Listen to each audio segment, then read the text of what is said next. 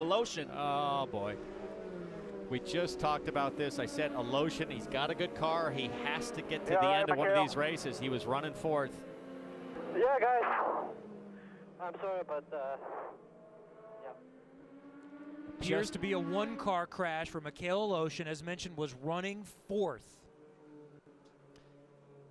And Good about, to see he's okay. about 20 laps ago, he had a big moment coming off turn two. He got through a bump and corrected and hung on. But like we talked about, these yellows, it's who's going to get it first. Who can hang on before needing to come to pit lane for fresh tires. And unfortunately, for Mikhail Aleshin, he was the first man out. We went to the drivers' meeting this morning, Townsend and I, and they said 60% of the accidents, uh, Brian Barnhart said, happen in turn two. That bumpy turn two is a big bump in the middle.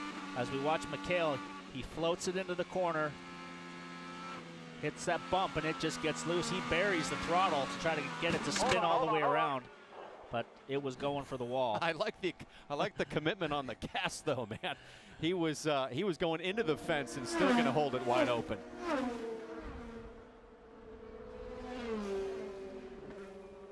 And that was his teammate Hinchcliffe there who came by and came the closest. just looked like he had a nice big arc into the corner, and he went Townsend for the bottom of the track, and it just over rotated and just. Once it got sideways, he buried his foot in the throttle to try to keep it from going up, just up to the wall, and try to get it to spin downwards, but it, uh, it wasn't having it. Great heads up driving from Ed Carpenter there. You saw he was right on the fuel map switch, going immediately to save fuel under caution.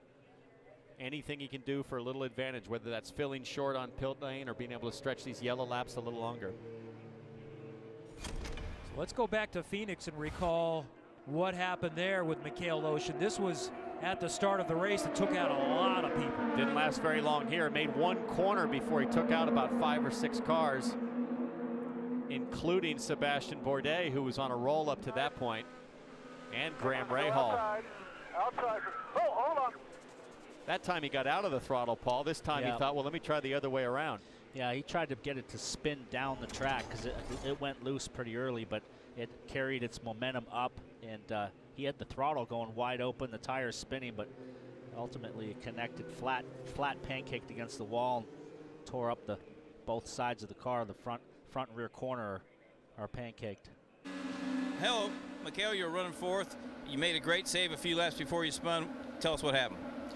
Well, I had a really loose car all day, and uh, I was just holding for my life there all this first stint, and uh, I, I don't know how many times I showed uh, my saves, but uh, it was almost every lap.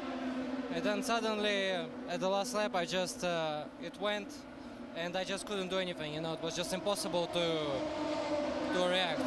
Well, we're glad you're, we're glad you're okay, kid. Kevin, All right, thank you, Robin. Tough one for Mikhail Aleshin and Schmidt Peterson Motorsports. They've still got James Hinchcliffe